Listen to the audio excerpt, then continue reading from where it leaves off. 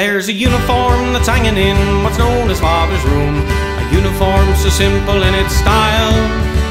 It's got no braid of gold, no silk, no hat with feathered plume. Yet me mother has preserved it all the while.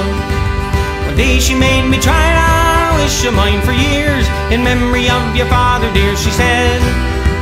And when I put the sunburn on, she was smiling through her tears as she placed the broad black brimmer on me head.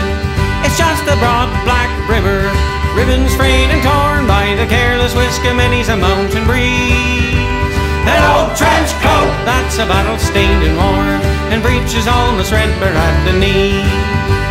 A Sam Brown belt with a buckle big and strong, and a holster that's been empty many's a day.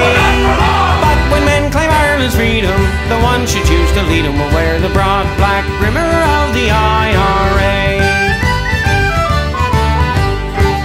It was the uniform been worn by my father long ago when he reached me mother's homestead on the run. It was the uniform been worn in that little church below when old Father Matty blessed the pair as one. After truce and treaty and the parting of the ways, he wore it when he marched out with the rest. And the best! And when they bore his body down that rugged heather brae, they placed the broad black brimmer on his breast. It's just a broad black brimmer, ribbons frayed and torn by the careless whisk of many's a mountain breeze. An old trench coat! That's a battle stained and worn, and breeches almost threadbare at the knee.